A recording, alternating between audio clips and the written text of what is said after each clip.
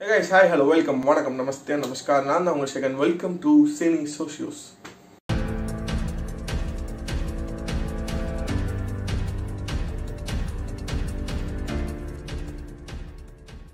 Guys இன்னைக்கு நம்ம எந்த மூவி பற்றி பார்க்க போகிறோம் அப்படின்னு பார்த்தீங்கன்னா தியா எஸ் தியா வந்து இந்த குவாரண்டைன் டேஸில் உண்மையிலேயே வேற லெவல் ட்ரெண்ட் ஆகிட்டு இருக்க ஒரு மூவியாக இருக்குது ஏன் இந்த மூவிக்கு இவ்வளோ பெரிய ஒரு ரெஸ்பான்ஸ் எதனால இது இவ்வளோ ஹிட் ஆச்சு? ஏன் இவ்வளோ பெரிய ரீச் ஆச்சு அப்படின்னு பார்த்தீங்கன்னா அதுக்கு முன்னாடி நம்ம இந்த மூவியை பற்றி நம்ம பார்த்துப்போம். இந்த மூவி நேம் வந்து தியா நம்மளால தெரியும்.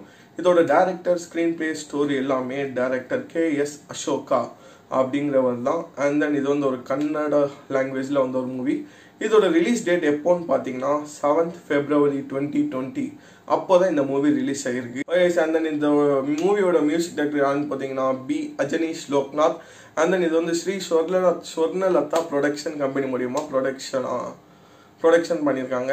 அண்ட் தென் இதோட கேரக்டர்ஸ் நேம் பார்த்தீங்கன்னா மெயின் கேரக்டர்ஸ் தான் ஆதி தியா அண்ட் ரோஹித். இத்தகைய ஒரு மூணு கேரக்டர்ஸ் தான் இந்த படத்தில் மெயின் கேரக்டர்ஸ் இருக்கு. அண்ட் தென் அந்த ரோஹித்தோட அம்மா கேரக்டரான லக்கி. இந்த நாலு கேரக்டர் தான் மெயின் இந்த லக்கிங்கிறவங்க லக்ஷ்மி. ஓகே கைஸ் இப்போ நம்ம இந்த மூவி ஏன் இவ்வளோ ட்ரெண்ட் ஆச்சு அப்படிங்கிறத ஆராய்வோம். என்னன்னு பார்த்தீங்கன்னா ஒன்றும் இந்த மூவி வந்து சினிமாஸில் ரிலீஸ் ஆனது என்ன தான் செவன் ஃபெப்ரவரி டுவெண்ட்டி டுவெண்ட்டியாக இருந்தாலும் இது வந்து அமேசான் ப்ரைமில் ரிலீஸ் ஆனது எப்போன்னு பார்த்தீங்கன்னா eighth March twenty twenty so இந்த டேட்டில் தான் இது வந்து அமேசான் ப்ரைம் வீடியோவில் ரிலீஸ் ஆகிருக்கு ஸோ அப்போலேருந்து கொஞ்சம் கொஞ்சமாக பார்க்க ஆரம்பிச்சிருக்காங்க. பார்த்தவங்களுக்குலாம் படம் பிடிச்சி போயிருக்கு. அதாவது அதர் ஸ்டேட்டில் உள்ளவங்க and then I mean other லாங்குவேஜில் உள்ளவங்க. ஸோ அவங்களுக்கும் படம் பிடிச்சி போனதுனால ஆல் ஓவர் இந்தியான்னு சொல்ல முடியாது. ஒரு சில ஸ்டேட்ஸில் உண்மையிலேயே ரொம்ப அந்த வகையில் பார்த்தோம். தமிழ்நாட்டில் தமிழ் மக்கள்கிட்ட உண்மையிலே ஒரு மிகப்பெரிய ட்ரெண்டில் இது இருக்குது இந்த தியா மூவி. ஸோ இது ஒன் ஆஃப் தி ரீசனாக இருந்தாலும் இதோட இன்னொரு ரீசன் என்னன்னு பார்த்தீங்கன்னா இந்த மூவியோடைய கதை. அப்படி என்னடா கதை இருக்குது யாரும் பார்த்துறாத கதை அப்படின்னு கேட்டிங்கன்னா ஒன்றும் இல்லை. The pain of a girl அதாவது தியா அப்படிங்கிற ஒரு கேரக்டர் அவங்களோட லைஃப்பில் அனுபவிக்கிற பெயின் தான் இந்த ஸ்டோரியாக இருந்திருக்கு. ஏன்னா ஒரு லவ் ஸ்டோரியாக இருந்தாலும் அதோட மெயின் கான்செப்டே அந்த பெயினாக தான் இருக்குங்கிறது தான் உண்மை.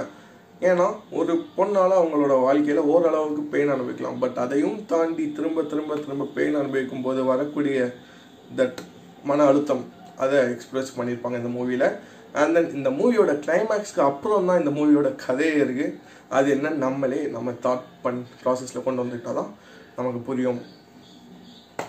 ஓகே இது ஒரு லவ் ஸ்டோரின்னு சொல்லி அப்போ வரும் லவ் பண்ணவன் தான் இது ஃபீல் ஆகுமா அப்படின்னு கேட்டிங்கன்னா அப்படிலாம் இல்லை. நீங்கள் எப்பேற்பட்ட சிங்கிள் மொரட்டு சிங்கிளாக இருந்தாலுமே ஒரு குறிப்பிட்ட சீனில் நீங்கள் எல்லாருமே கன்ஃபார்மாக கண்ணீர் வடிப்பீங்க. அது ரோஹித்க்கும் அவங்க அம்மா லக்கிக்கும் நடுவில் ஒரு ஒரு சீன் அப்போது அந்த சீன் பார்க்கும்போது நீங்கள் ஒரு மனுஷனாக இருந்தாலே போதும். நீங்கள் லவ் பண்ணுறவங்களாவும் சிங்கிளாக இருக்கணுங்கிற அவசியம் இல்லை. ஆக்சுவலாக நீங்கள் ஒரு ஹார்ட் உள்ள ஒரு ஃபீலிங்ஸ் உள்ள ஒரு மனுஷனாக இருந்தீங்கனாலே கண்டிப்பாக அந்த சீன் பார்த்து நீங்கள் எல்லாரும் அழுவீங்க அப்படின்னு சொல்லிக்கிறேன். பைதிவே இந்த மூவி பார்க்குற சிங்கிள்ஸ் எல்லாரும் என்ன தோணுனா எவ்வாடா நல்லவளா நம்ம சிங்கிளாக இருக்கும் அப்படிங்கிற ஒரு தாட் ப்ராசஸும் வரும்.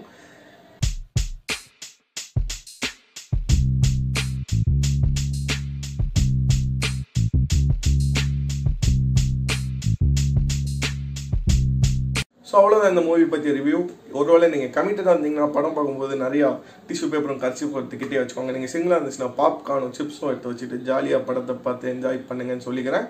அண்ட் தென் அந்த குறிப்பிட்ட சீன் யாராக இருந்தாலுமே டெஃபினட்டாக கண்ணீர் வரதான் செய்யும் அது அப்பேற்பட்ட சீன் அது போக இந்த மூவியில் உள்ள வேறு எந்த சீன்ஸையோ எந்த ஒரு கதையை நான் உங்கள்கிட்ட சொல்ல விரும்பலை. அப்படி சொன்னால் நீங்கள் யாருமே அழ மாட்டீங்க பார்த்தீங்களா பார்க்கும்போது உங்களுக்கு தெரிஞ்சிடும் ஸோ டெஃபினட்டாக எல்லாம் அந்த படத்தை பார்த்து அந்த ஒரு சீனில் அழுங்க.